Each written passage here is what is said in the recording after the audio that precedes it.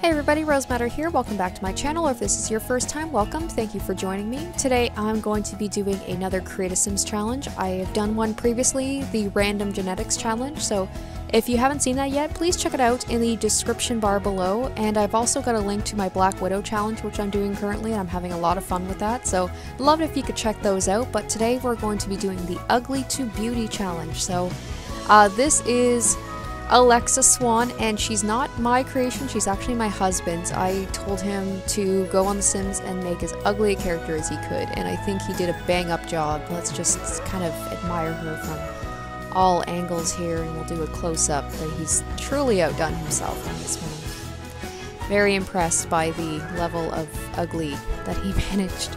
Uh, so, my goal is to turn this into something beautiful by uh, just going in, manipulating the face, uh, you know, adding new hair, makeup, clothing, whatever.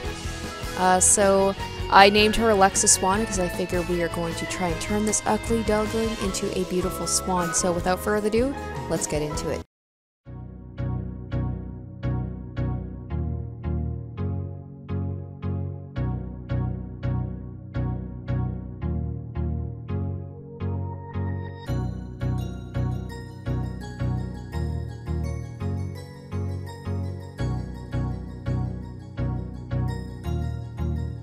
That's